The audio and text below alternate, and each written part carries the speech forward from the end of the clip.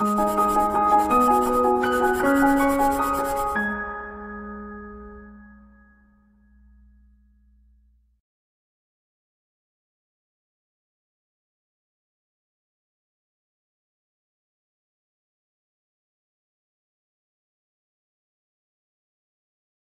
friends, welcome to Pro Talent and I'm sure all of you must be putting a lot of efforts for your examination. Yes?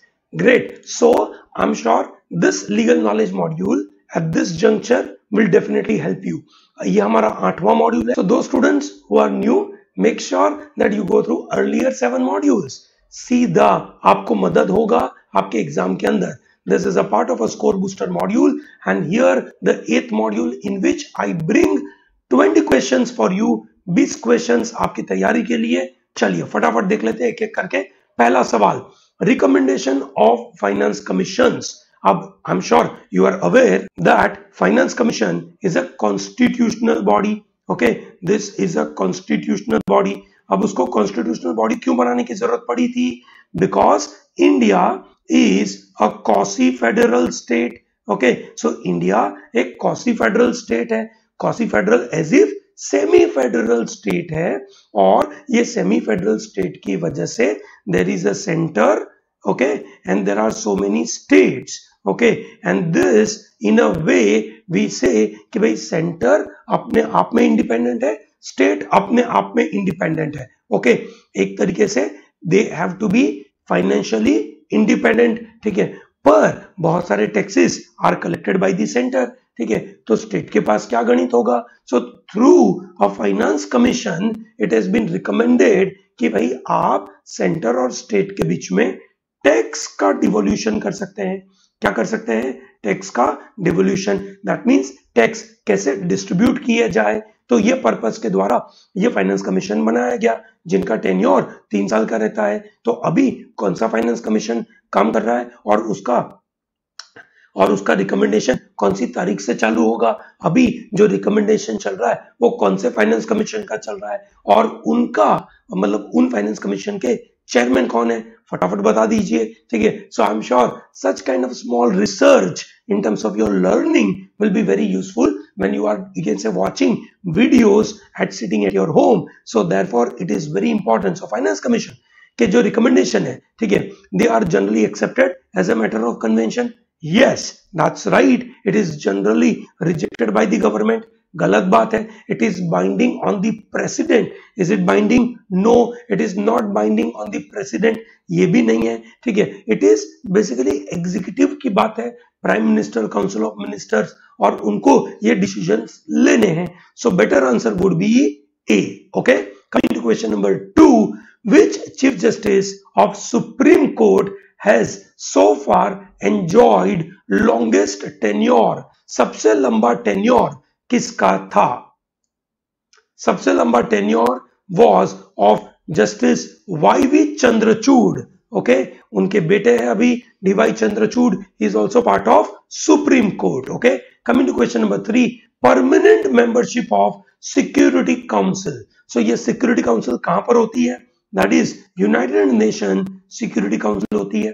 उसके दो भाग होते हैं। There are five permanent members and there are ten non permanent members okay so ये जो पाँच permanent members है, उसमें India wants to be part of it yes ठीक है तो हमें ये पता होना चाहिए कि अगर हमें परमानेंट मेंबरशिप चाहिए, वो कैसे मिलेगी? Okay so this permanent membership in united nation security council will be increase by amendment in united nation charter yes united nation के चार्टर को बदलकर ये किया जा सकता है। बिल्कुल सही बात है। Resolution by general assembly general assembly के कोई स्पेशल रेजोल्यूशन के द्वारा ये काम नहीं होगा because it is the constitution has to be change and thereby उसके चार्टर में अमेंडमेंट होना ज़रूरी है। So answer would be A coming to number four in August 2018 president gave his assent to which of the new legislation that will prevent offenders from avoiding legal process and fleeing the country. ठीक है? President of India ने एक नया bill pass करवा दिया because वो लोकसभा राज्यसभा में तो पास हो गया था and then president gave his assent to which bill? I'm sure every one of you are aware it is fugitive economic offenders bill और उसके द्वारा मिस्टर विजय माल्या ठीक है is you can say termed as first fugitive according to this offence अब ये economic offence क्या होते हैं? भाई, यहाँ पे डेफिनेशन देखे रखी है। सौ करोड़ के ऊपर का अगर किसी ने पैसों का गफला करा और लोगों के पैसों के साथ उन्होंने कुछ परेशानियाँ करी then it will be termed as economic offence okay coming to number five parliament of India has pass constitution amendment bill to grant constitutional status to national commission for backward classes so according to you can say amendment hundred and second amendment ncbc has been appointed as an constitutional body. Okay पहले national commission of scheduled caste national commission of scheduled tribe वो constitutional bodies हुआ करती थी।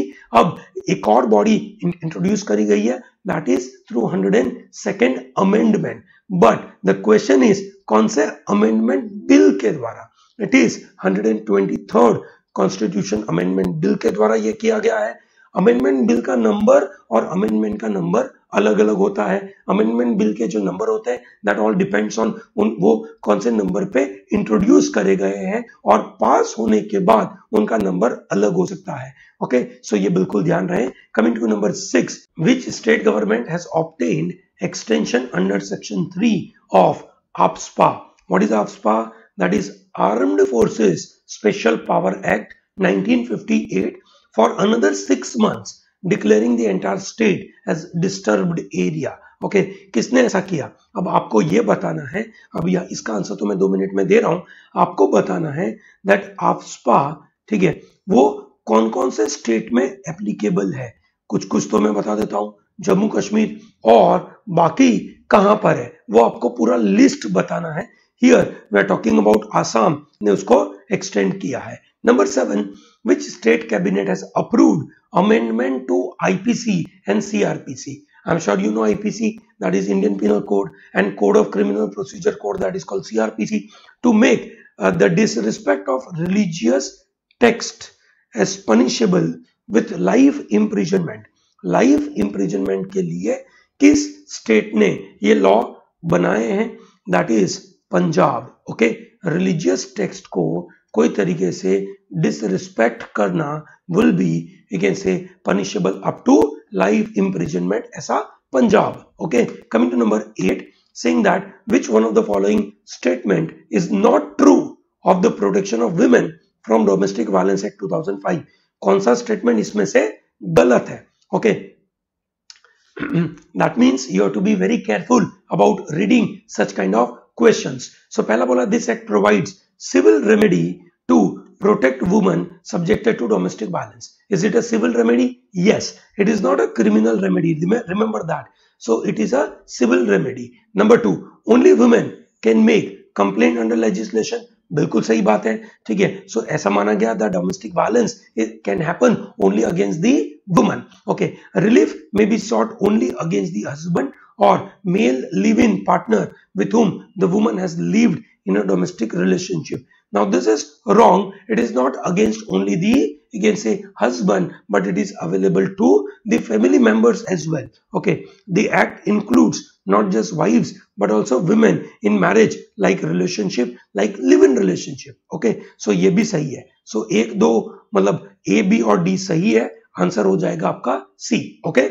चलिए great. Coming to number nine, name the article of the Lisbon Treaty 1 Okay, Lisbon Treaty, one of the very important treaty under which Britain will have to officially notify of its decision to leave the European Union. This is Britain को clearly सबके सामने बोलना पड़ेगा and it has to be passed under their parliament. So this is article number 50 under Lisbon Treaty 1 के मुताबिक ऐसा करने की ज़रूरत पड़ रही है और इसीलिए ब्रिटेन में काफ़ी हल्ला हो रहा है about there Brexit okay Brexit में काफ़ी परेशानी हो रही है बिकॉज़ ऑफिशियली उनको ये बताने की ज़रूरत पड़ेगी। अगर ये नहीं बताएँगे तो सबसे बड़ी परेशानी होने वाली है आयरलैंड के साथ। ओके, सो नॉर्दर्न आयरलैंड, जो एक से यूके का पार्ट है वाइल जो ये छोटा सा एक एरिया है दैट इज़ आयरलैंड और ये नॉर्दर्न आयरलैंड है, और ये आयरलैंड है। ठीक है, उनके बीच में ये जो बाउंड्री है, ठीक है this boundary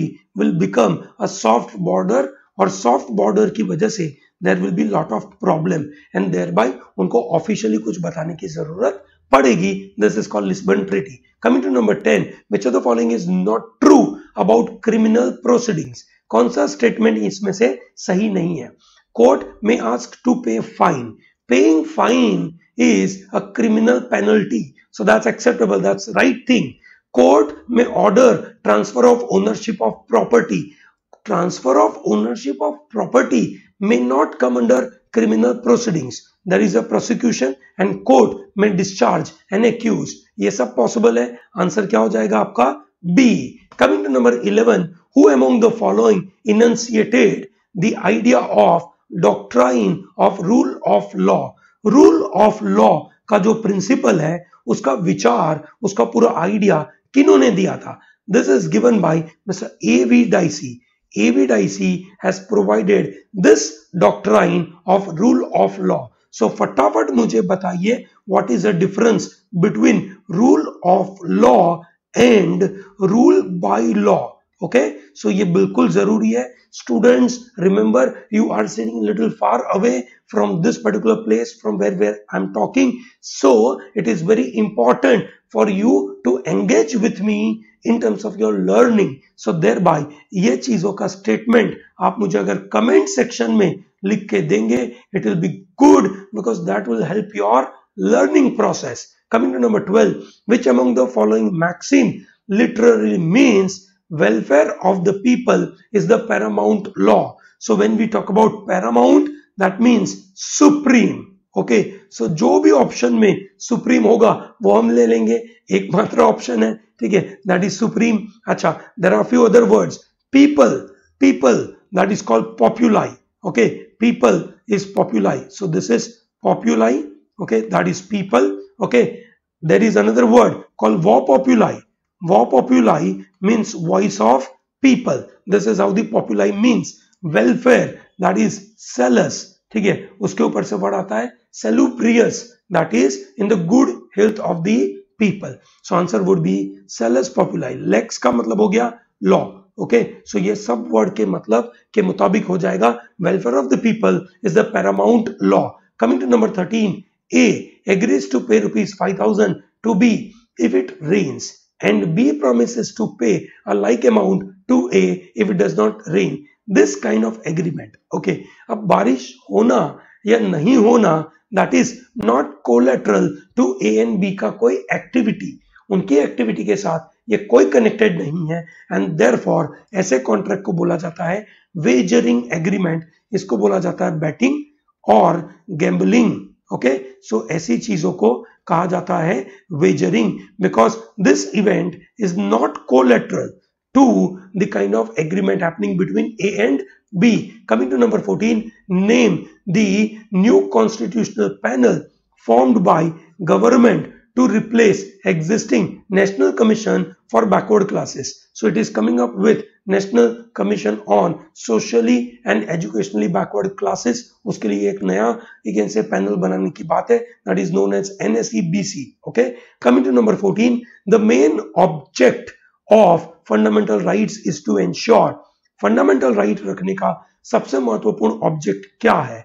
Primarily is it for independence of judiciary no it is primarily provide individual rights as an absolute right? No so this is हमारे इंडिया में fundamental rights are not absolute okay so वो तो बिल्कुल आप निकाल दीजिए उस बात को। Individual rights subject to reasonable restriction yes लोगों को अपने इंडिविजुअल अधिकार मिले but subject to reasonable restriction so answer would be C and obviously it is not a socialistic pattern of state or the society it is primarily to provide rights individual rights but with reasonable restriction. Coming to number 16, the manager of work for So Muslim personal law के मुताबिक अगर किसी ने अपनी property religious या educational purpose के लिए एंडाउ करी है मतलब दान में दी है देन दैट इज़ कॉल्ड वर्क और उनके जो मैनेजर है, उनको कहा जाता है मुतावली। क्या कहा जाता है उनको? मुतावली। Coming to number 17 high court has been constituted in all these states in January 2013 except which of the following state? ठीक है? इन सब जगह पे ये अवेलेबल है और किधर अवेलेबल नहीं है? This is not there in Mizoram Mizoram में नहीं है। बिल्कुल ध्यान रखिएगा। Committee number 18 the phrase due process of law means ठीक है? What is the meaning of due process there are lot of meaning to that ठीक है?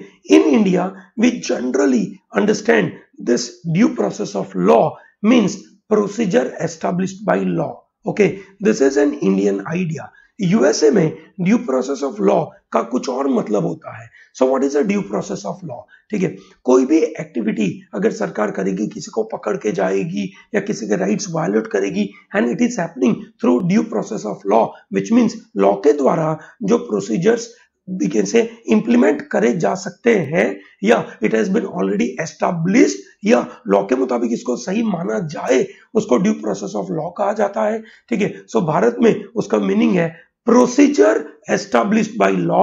Law के द्वारा कोई अगर प्रोसीजर एस्टाब्लिश किया गया हो, तभी जाकर किसी को पकड़ा जाता है। अगर प्रोसीजर एस्टाब्लिश नहीं किया गया हो तो वो काम नहीं किया जा सकता। That's how the idea is okay coming to number 19 principles laid down in a judgement is so जो प्रिंसिपल्स के द्वारा जजमेंट दिया गया ठीक है? जो प्रिंसिपल के द्वारा जजमेंट दिया गया, उन प्रिंसिपल्स को क्या कहा जाता है? उन प्रिंसिपल्स को कहा जाता है रेशियो डेसिडेंडी तो उनको क्या कहा जाता है? उनको कहा जाता है ratio decidendi on this principle judgements are being provided and coming to question number twenty plea bargaining was introduced in India by which particular law plea bargaining का मतलब होता है कि if I am convicted I say before conviction, I give my cooperation for the proper investigation and then uh, in return, I expect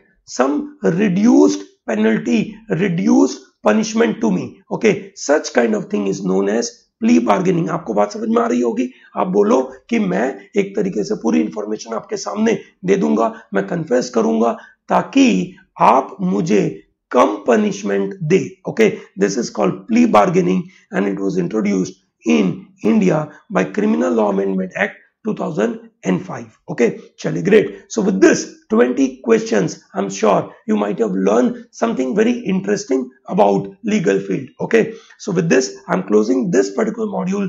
Do not miss out to take few more modules from protalentdigital.com. Okay, thank you very much and all the best.